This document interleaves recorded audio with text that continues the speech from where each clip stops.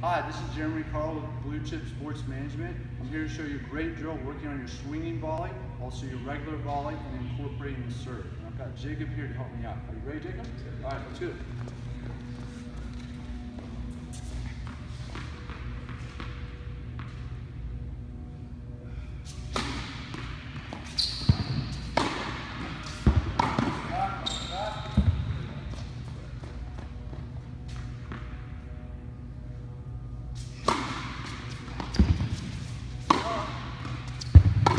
Thank you.